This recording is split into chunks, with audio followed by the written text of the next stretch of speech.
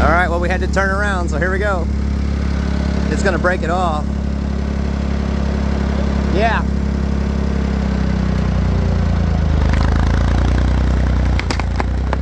Sweet. Oh, that's perfect. I was gonna cut it with a chainsaw, but that's a little bit more dangerous than doing it this way, as long as you do it right. And you can tell we made sure, before I turned the camera we made sure that the height is not gonna have a chance to hit him whatsoever, no matter what, so. All right, well, see you later. that was great.